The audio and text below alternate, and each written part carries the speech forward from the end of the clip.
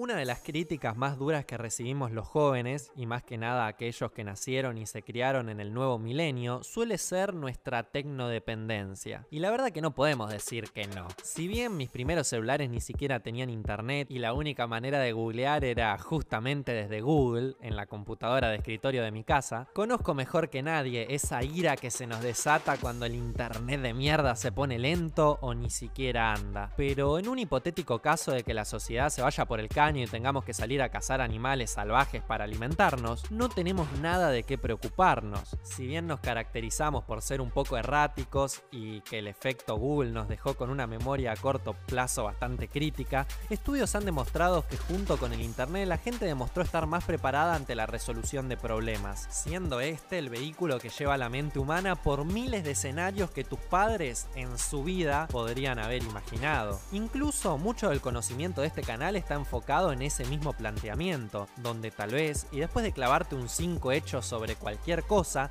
sepas algo sin siquiera haber tocado tan solo una vez dicho tema en la escuela.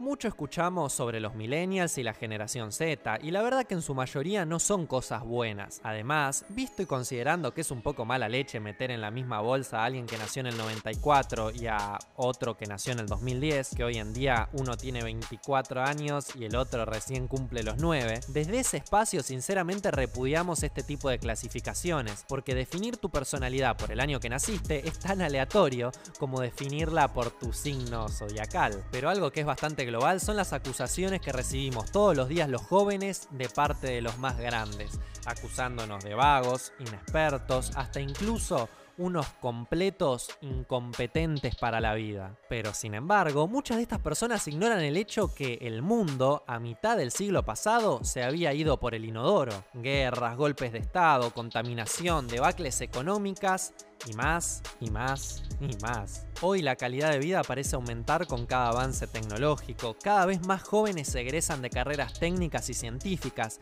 y cada día que pasa los niños se incorporan de más chicos en cuestiones políticas, formando una opinión y un carácter crítico, cuando tal vez hace unos años tus padres ni siquiera se imaginaban un futuro donde existieran trabajos que no están atados a trabajar la tierra, en la fábrica o cualquier otra necesidad básica.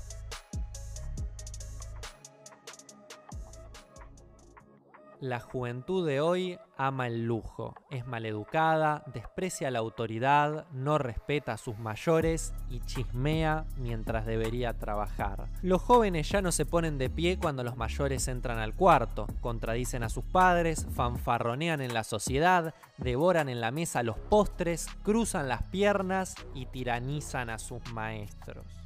Si te lo estás preguntando, no, esta frase no la saqué de algún artículo de una revista amarillista o de algún programa de televisión. Esta frase la dijo Sócrates, el padre de la filosofía occidental, hace casi unos 2500 años. Le atribuimos la responsabilidad de un futuro incierto a la juventud por miedo, por ser distintos, por mirar en otra dirección. Tal vez siempre los jóvenes fuimos transgresores, tal vez siempre fuimos maleducados, tal vez siempre fuimos perezosos, pero al final de la historia, esos mismos jóvenes fueron quienes sacaron adelante la misma historia. A veces, la sociedad simplemente no quiere entender a sus niños, como si a su corta edad ya fueran responsables de su inexperiencia, simplemente por no querer aceptar que tal vez